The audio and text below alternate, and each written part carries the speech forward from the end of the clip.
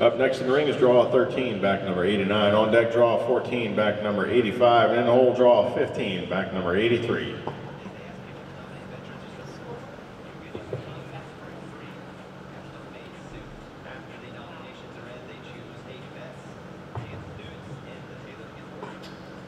The score for draw 12, back number 135, Majestic Miss Pepe, ridden by Lee Chase, is a 70 and a half.